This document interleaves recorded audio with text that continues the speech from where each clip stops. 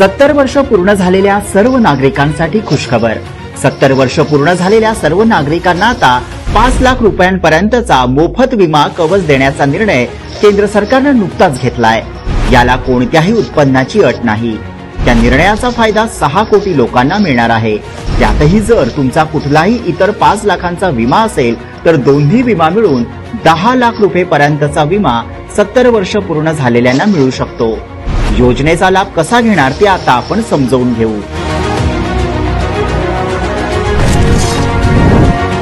कुटुंबातील सर्व गरजू हा विमा मिळवण्यासाठी पात्र ठरतील.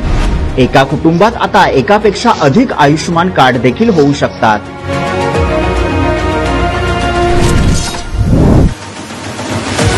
आयुष्यमान भारत या योजनेअंतर्गत देशातले सर्व सत्तर वर्षांवरील नागरिक असतील. तसेच निराधार नागरिक आदिवासी दलित तसेच दिव्यांग नागरिक आणि जे असंघटित क्षेत्रात काम करणारे मजूर असतील ते देखील यासाठी पात्र आहेत. Online P M J A Y dot G O V dot I N संकेतस्थळावर अर्ज करून पात्र आहे किंवा नाही हे देखील समजू शकतं. केंद्र सरकारच्या योजनेचे लाभार्थी सुद्धा लाभ घेऊ शकतात. या योजनेचा लाभ जे ज्येष्ठ नागरिक आधीपासून केंद्र सरकारची आरोग्य योजना घेत आहेत जे माजी सैनिक अंशदायी आरोग्य योजना घेत आहेत आणि जे केंद्रीय सशस्त्र पोलीस दल तसेच इतर सार्वजनिक आरोग्य विम्याचा लाभ घेणारे देशातील नागरिक सुद्धा पात्र असतील.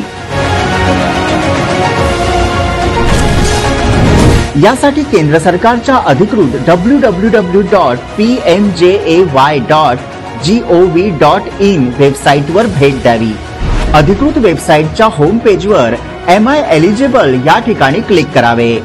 त्यानंतर अर्जदारांच्या आधारशी जोडलेल्या मोबाईल क्रमांकासाठी ओ टी पी मागवावा. वेबसाईटच्या स्क्रीनवर ऑप्शनमध्ये आपल्याला मोबाईल क्रमांकावर आलेला ओ टी पी भरावा. स्क्रीनवर आपण ज्या राज्यांमध्ये राहतो ते राज्य निवडावे. पुन्हा आपला दहा अंकी मोबाईल क्रमांक आणि रेशन कार्ड क्रमांक नमूद करावा. वेबसाईटच्या स्क्रीनवर पात्रतेची माहिती झळकेल.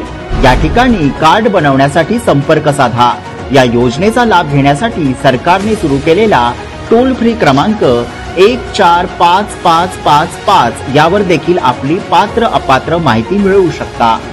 किंवा कॉमन सर्व्हिस सेंटर अर्थात सी एस सी सेंटरवर देखील अधिकृत कागदपत्र देऊन अर्ज करता येईल. या योजनेचा लाभ मिळवण्यासाठी अधिकृत आधार कार्ड रहिवासी प्रमाणपत्र रेशन कार्ड आणि आधारशी जोडलेला ऍक्टिव्ह मोबाईल क्रमांक आवश्यक आहे. त्यासाठी कोणत्याही उत्पन्नाच्या मर्यादेची अट नाही.